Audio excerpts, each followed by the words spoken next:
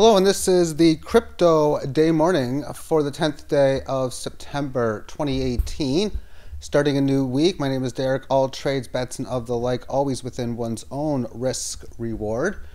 And let's take a look at a bunch of different things really quickly. No need to go over the daily term time frame. It's the three hour time frame I want to talk about as the green candle up or the completion of the inverted Bart Simpson head formation, as I like to call it, completed but it never did uh, even come close to getting above the established resistance level at about 64.50. Rather, it spent about three periods thereafter just hanging in above the 18 of closes. And then a big red candle down basically to the 18 of lows and then reverting to the 18 average of highs the very next period after. So major volatility in comparison from before, high within it, and then it settles down after the 20 hour time spent snap and this is period number four, with two hours left to play in this period, amongst just staying in within the band. So obviously less strength when you're uh, transitioning or settling in amongst the correctionary phase. Of course, uh, doing such above the 18 highs is bullish and below the 18 lows is that of bearish.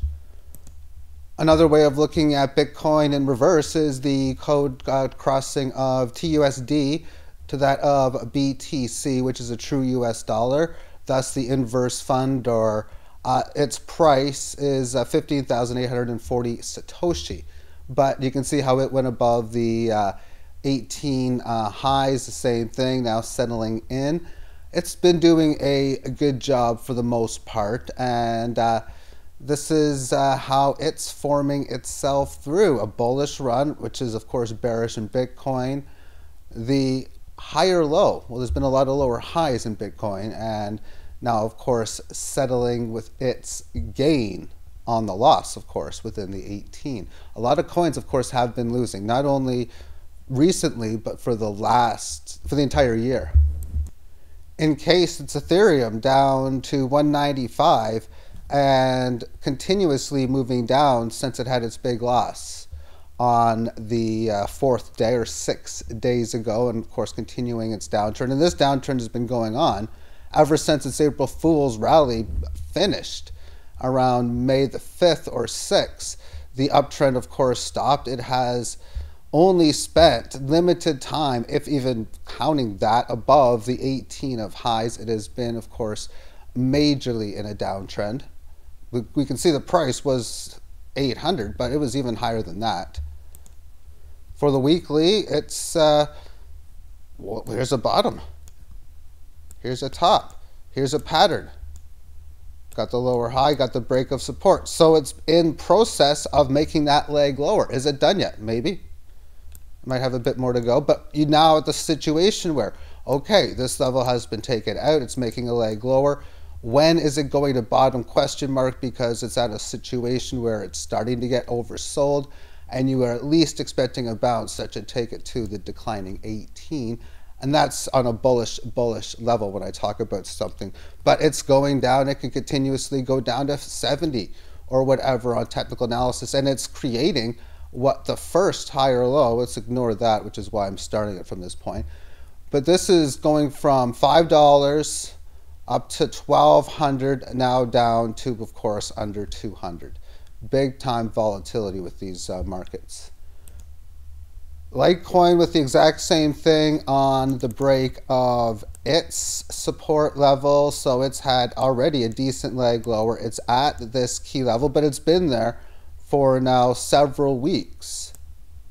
Is there still going to be action towards maybe the 30, whichever level? And if Bitcoin does make a surge down to 3,000, we could even be talking about possibly down here for 56 to 20 would be a loss of not quite 3x, but more so than 2.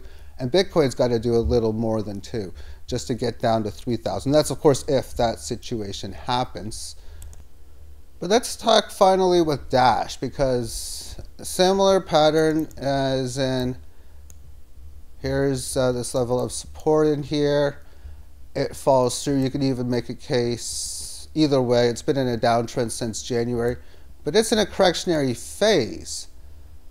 Regardless, this is a decent sized leg lower from this low, so it's it, you, you have you have it doing what you expect it to do. When you break a key level, it goes down, not too little, not too much, but something just right, which would probably be the example here.